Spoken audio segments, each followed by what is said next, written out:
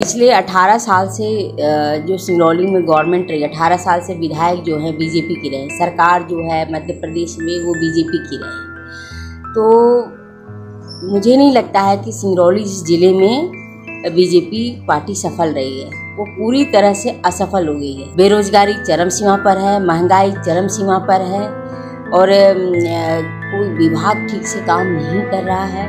समस्याएँ, अनगिनत समस्याएँ हैं। जनता ने तो अपना फ़र्ज़ निभाया लेकिन भारतीय जनता पार्टी बिल्कुल उसका उलट काम की। जनता उन्हीं की सरकार में, बीजेपी सरकार में परेशान है। मिलेगा।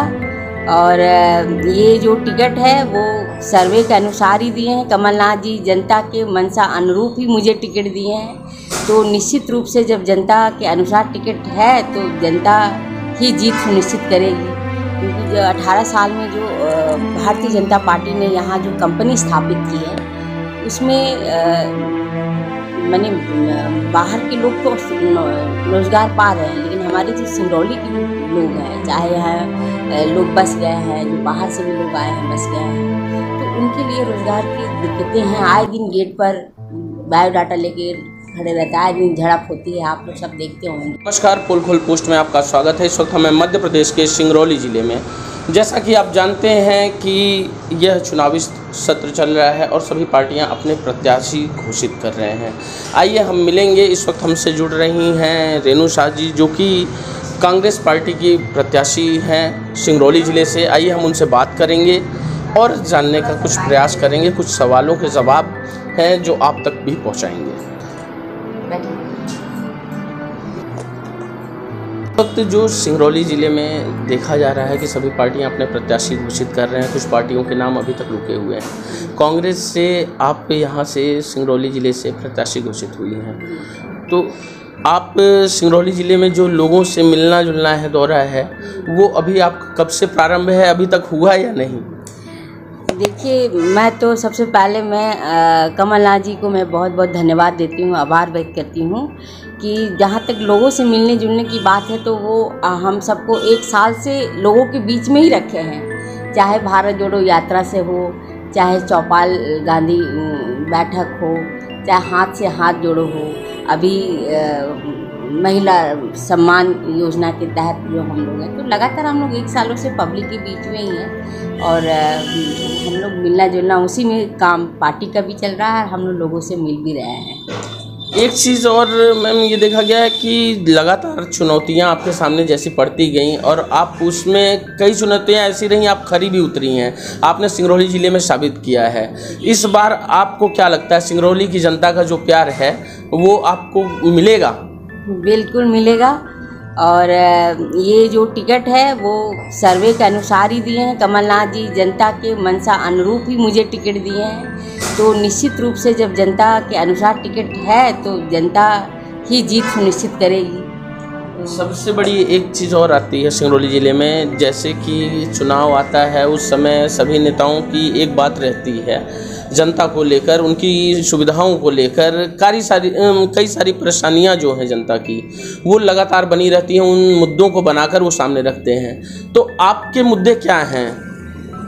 देखिए, जो पिछले 18 साल से जो सिंगरौली में गवर्नमेंट रही 18 साल से विधायक जो हैं बीजेपी की रहे सरकार जो है मध्य प्रदेश में वो बीजेपी की रहे तो मुझे नहीं लगता है कि सिंगरौली ज़िले में बीजेपी पार्टी सफल रही है। वो पूरी तरह से असफल हो गई है। जनता ने किसी प्रकार की कोई कमी नहीं दी। महापौर से लेकर विधायक विधायक से लेकर सांसद तो सरकार सेंट्रल गवर्नमेंट, सभी चीज़ जनता ने पूरा कॉपरेट की, जिस तरह से करना चाहिए गवर्नमेंट जनता को। जनता ने तो अपना फ़र्ज़ निभाया, लेकिन भारतीय जनता पार्टी बिल्कुल उसका उलट काम की। जनता उन्हीं की सरकार में, बीजेपी सरकार में परेशान है।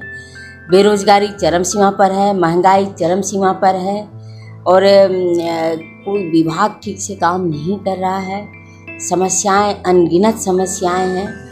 तो इस तरह से पूरा बदहाल स्थिति सिंगरौली ज़िला है। इसमें काम करने की बहुत आवश्यकता है और मुझे लगता है कि जनता मुझे इस बार अवसर देगी, अपना प्यार, आशीर्वाद देगी काम करने के लिए। धन्यवाद, मैम। जैसा कि आप देख रहे हैं कि हमारी बात हो रही है रेणु शाह जी से, जो कि कांग्रेस पार्टी की प्रत्याशी हैं और उनका कहना है कि सिंगरौली की जनता का जो प्रेम है, उनके लिए लगातार बना हुआ है और बना रहेगा।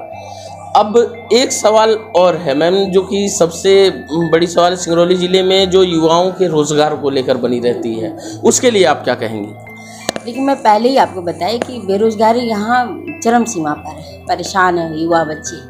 और ये हम, हमारे लिए भी बहुत बड़ी चुनौती है, क्योंकि जो 18 साल में जो भारतीय जनता पार्टी ने यहाँ जो कंपनी स्थापित की है, उसमें मैंने बाहर के लोग तो रोज़गार पा रहे हैं, लेकिन हमारे जो सिंगरौली के लोग हैं, चाहे यहाँ लोग बस गए हैं, जो बाहर से भी लोग आए हैं, बस गए हैं तो उनके लिए रोज़गार की दिक्कतें हैं। आए दिन गेट पर बायोडाटा लेके खड़े रहते हैं, आए दिन झड़प होती है, आप लोग सब देखते होंगे।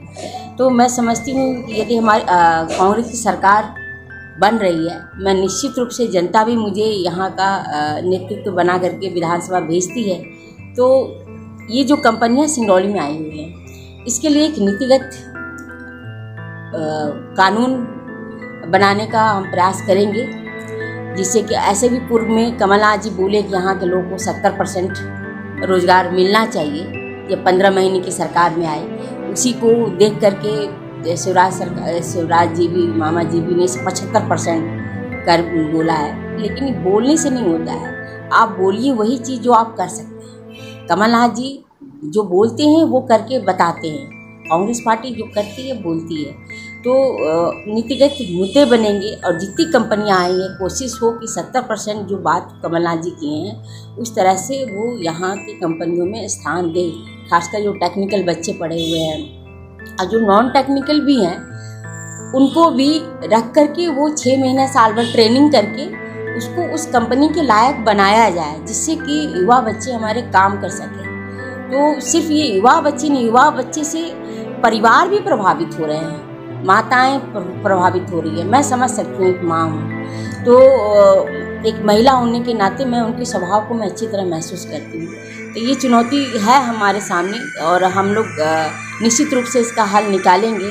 और इसके लिए कानून बनाएँगे, विधेयक पारित करेंगे, हम लोग विधानसभा में इस बात को रखेंगे। और मुझे कमलनाथ जी पर पूरे, पूरी भरोसा है, कांग्रेस पार्टी पूरा भरोसा है कि वो सिंगरौली जो एक स्पेशल ज़िला है, पूरे मध्य प्रदेश में एक सिंगरौली क्योंकि ये विस्थापन जैसे मुद्दों को भी झेल रहा है। यहाँ विस्थापित कई कंपनियाँ आई हैं, मूलभूत सुविधा भी नहीं दे रही है वो कंपनी। तो ये बहुत दुखद बात है। और मैं इस मुद्दे पर बिल्कुल काम करना चाहती हूँ। सिंगरौली के जितने मुद्दे हैं, चाहे बेरोजगारी से संबंधित हो, चाहे प्रदूषण से संबंधित हो, चाहे यहाँ अस्पताल सही नहीं हो, ये जो सभी संवेदनशील मुद्दे हैं, मैं उन पर काम करना चाहूँगी, जनता का आशीर्वाद मिलेगा, मैं नेतृत्व करूँगी बिल्कुल और इस बात को बिल्कुल विधानसभा तक मैं पहुँचाने का काम करूँगी और सिंगरौली की जनता का मैं आवाज़ बन करके काम करना चाहती हूँ। धन्यवाद मैम। जैसा कि आप देख रहे हैं कि अभी हम जुड़े रेणु शाह जी से। लगातार जिस तरीके से हम चुनावी न्यूज़ को कवर कर रहे हैं, सभी प्रत्याशियों से मिल रहे हैं और आप तक उनकी खबर पहुँचा रहे हैं। अभी यहाँ पे सबसे बड़ा मुद्दा एक आया है कथनी और करनी में अंतर। जिस तरीके से इन्होंने कहा कि शिवराज सिंह चौहान की जो सरकार है, वो जो कहती है, वो करती नहीं है। और इन्होंने जो कहा, वो बोली हैं, हम करके दिखाएँगे। अब देखिए, आगे बने रहिए हमारे साथ। जो भी बातें होती हैं, हम आप तक लगातार पहुंचाते रहेंगे। कैमरामैन जॉनी मित्तल के साथ अमित सिंह, धन्यवाद।